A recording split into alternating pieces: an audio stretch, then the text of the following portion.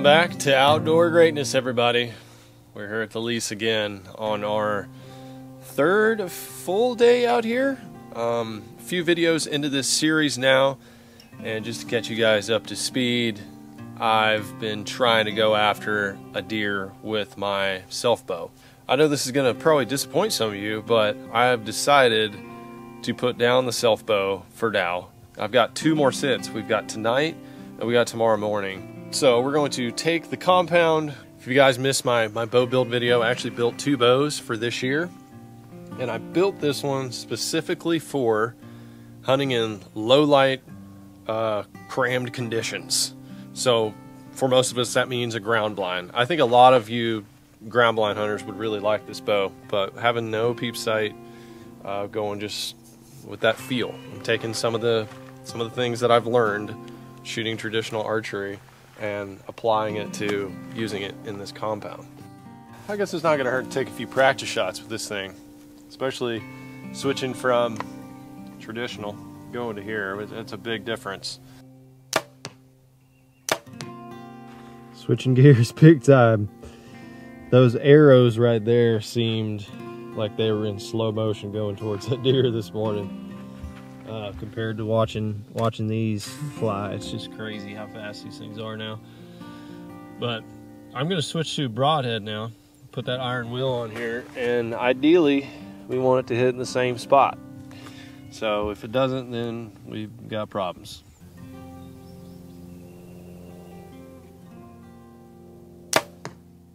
I mean, it could have been me on the shot, but if it is shooting an inch lower at 20 yards, I'm I'm okay with that. Just because deer's probably going to duck a little bit. Well, guys, we may need to call an audible. Oh, this is a buck that I saw last year that he just escaped me. But he is coming in in the evenings here. Oh, that's late though.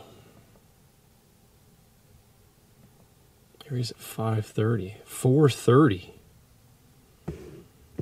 My gosh. That's like in two hours. What in the world?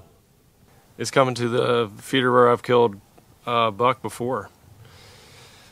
Now I'm torn. Do I go back to a deer that I shot at twice this morning? A deer that, I mean, it's a great management buck that needs to go. I said I wasn't gonna gonna care about trophy trophy deer this year. There was a lot of opportunities there with not just that buck. I ignored that stand because when I was scouting, I saw a doe and a fawn there. And I thought, well, uh, I'm not going to mess with that. You know, I don't want to kill that doe. Um, I see the, the fawn laying in the grass, and I kind of left it alone. But I just pulled that car today just to kind of check. And it's got mega hogs in the evenings. I might risk it for the biscuit here if I get a shot at that buck. Okay, we're going right now. We're gonna go see if there's lanes. It's middle of the day, 2.30. This is just a good time to do it. Oh man, scramble. Absolute scramble.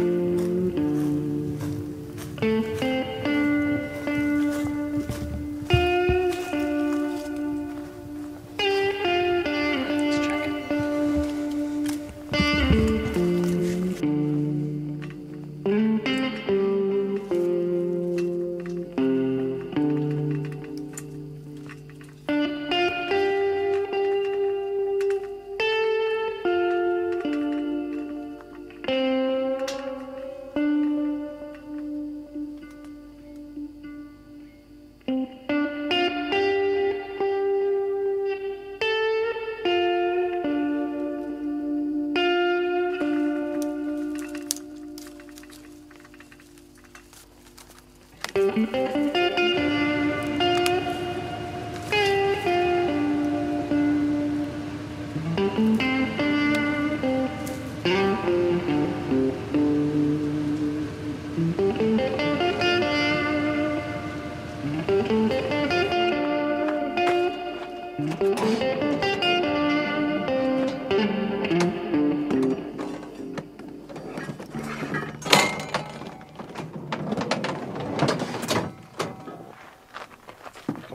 and did that because the, the tree had grown up a little bit. Now I got multiple lane options.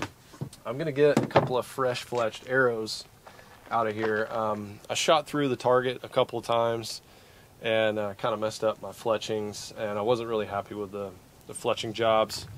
I got a new um, fletching jig and uh, did a couple of fresh ones before we came out here. So I'm gonna shoot them. I'm gonna get up on our um, our rifle tower. I just want to stand up, shoot down, just make sure everything's flying good. You know, we're we're dotting the T's and crossing the I's. The other way around. That's probably why I missed this morning. I did find a turkey feather though. Pretty cool. Future fletching. I've never shot with this pack on, so I want to make sure nothing's getting in the way.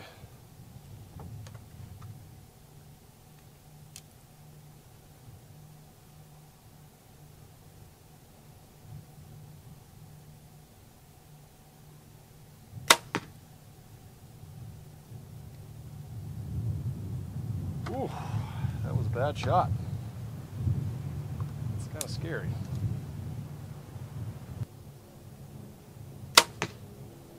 Damn, what is going on?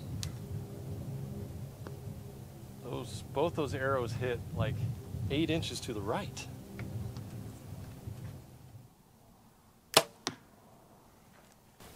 mean, how could my bow be that far off? Would the fletchings be that big of a deal?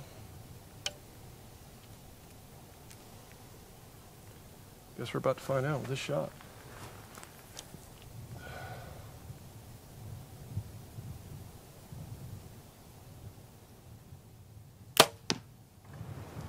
Oof.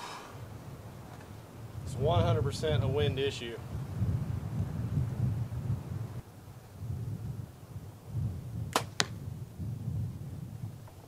We're definitely going to have to deal with this wind. There's no question. It's pushing my arrow six to eight inches.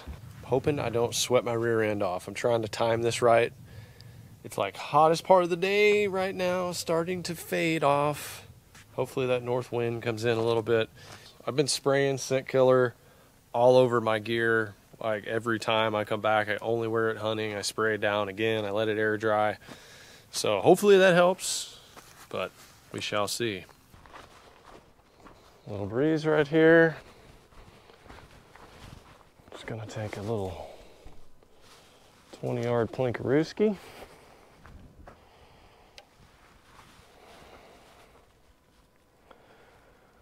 Make sure our booger button's working with our shirt we got on.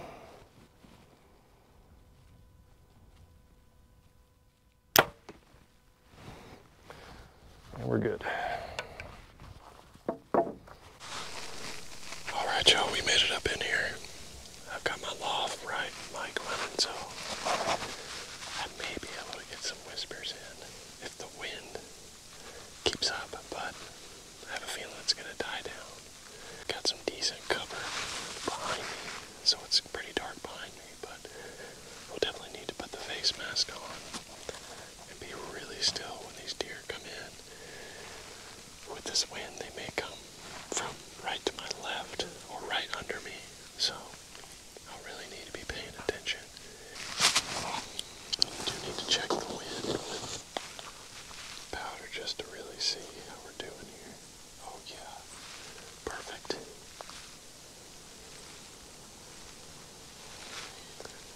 It's it's coming out of the north a little bit, which is awesome. So it's that northeast wind. That should keep me just fine when they're at the feeder. It's just I don't know really where they're coming from. They could come from anywhere right here. This is a central location where uh, I've seen them come from all over the place. So really don't know. Let's get quiet. Let's cover up and let's hope something comes in.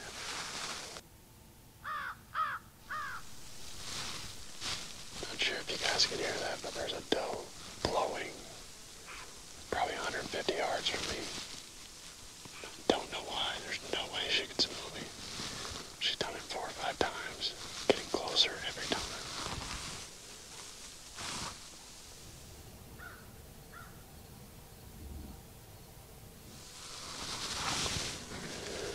Twenty minutes left.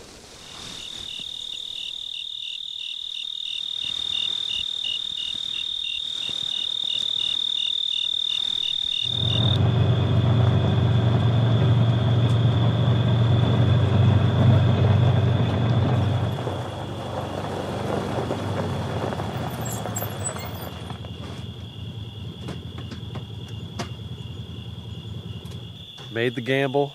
The gamble did not pay off, but I left my bow in the stand.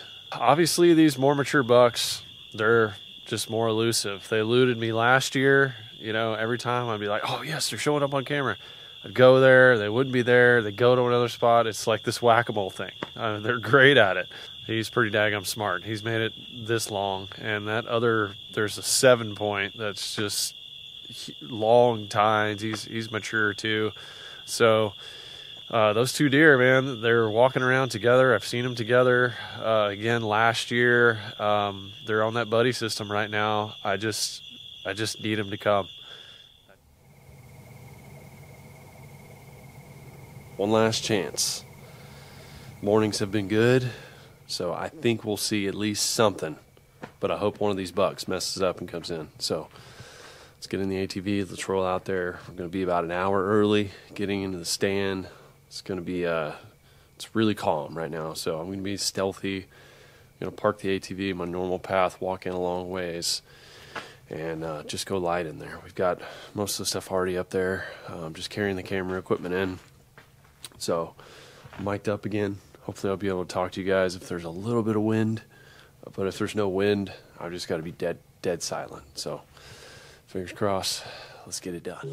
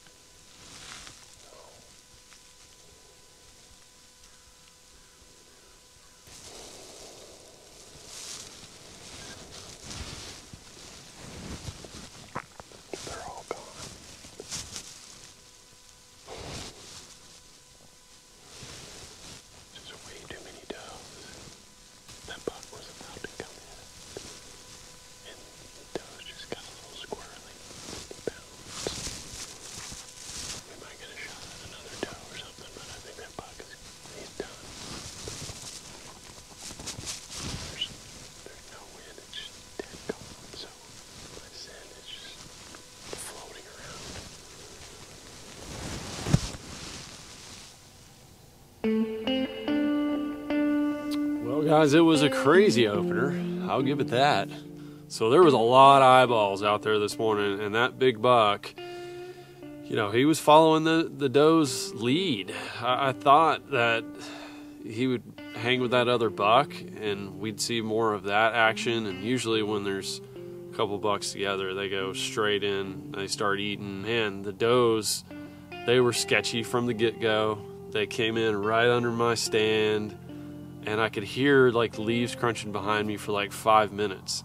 And I was scared to even turn my head because I knew they were they were probably checking me out. They, they smelled something, they didn't like it. You know, they did a circle came back, and when they start doing that, it's like, man, they're just they're just not down with the program. I had a chance at a doe. I was to give it five minutes, and if the if the does were still there and I hadn't seen the buck, then I was going to go ahead and take the shot. But that buck started to come back, and as soon as I said buck, I don't know if the if the doe saw the buck about to come in and she kind of got sketchy because normally when the big buck gets in there, everything kind of leaves. Um, or she heard me say buck. It was like buck up, and she looked up and and then she put her tail up, and then he followed suit, and it was just like golly, we were this close. We were this close to having an opportunity. That's the challenge of bow hunting. Uh, this whole trip down here has been awesome, though hunting with the trad bow, the primitive bow. Uh, I haven't forgotten about that six point either. I'm going to check the camera and see if he's still there. Um, he's he's definitely on on the list, but got lots of does running around too. It looks like a little too many, so um, we got opportunities on the table. So I'll come back and uh, I'll be a little less picky. Let me tell you something. This hammock right here, I, I love sleeping in this thing in this weather. Like I, have normally slept in the truck uh, when I'm truck camping, but I backed my truck up against the, this little tree here. Kind of gave it, you know, about 12 foot or so, and man, it's perfect. It is really perfect, especially under this oak tree. I get a little cover from the dampness. Look at the stars at night. Just a little fleece blanket. I got the program. If you guys ever want to hammock camp, hammock sleep. Um, little pillow. You, you kind of get this weird, like your elbows get crunched in. You just put that pillow right here. Just put it right there. Rest your arms on it. Your head's already elevated. It's the deal. I don't know why I gave a random camping tip right there, but I just love this hammock. Thank you guys for being here. Go ahead and smash that like button for uh, hunting in the great outdoors. And um, I hope your arrows are flying true. And I'll see you guys soon on the next one.